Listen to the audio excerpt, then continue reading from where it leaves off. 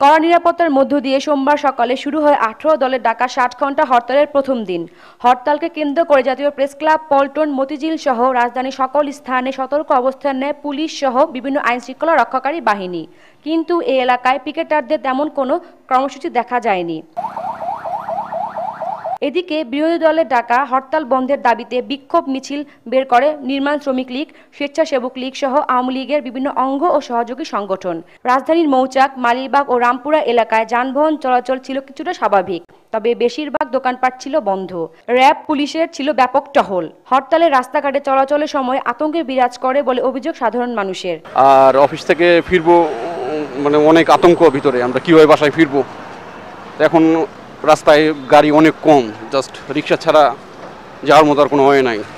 মতিঝিল এলাকায় খোলা ছিল ব্যাংক বিমা ও অন্যান্য সরকারি বেসরকারি অফিস। দুই নেত্রীর ফোনালাপকে ঘিরে দেশের মানুষের মাঝে স্বস্তি এলেও এখনও বন্ধ হয়নি হরতালের মতো কর্মসূচি।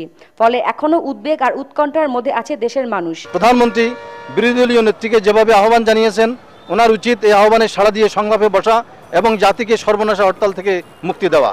তবে সংঘাতময় রাজনীতি বন্ধ করে দুই নেত্রী সংলাপের মধ্য দিয়ে দেশে শান্তি ফিরে আসুক এমনটা দাবি এখন সাধারণ মানুষের। Swarnal Islam, BD headlines, Dhaka.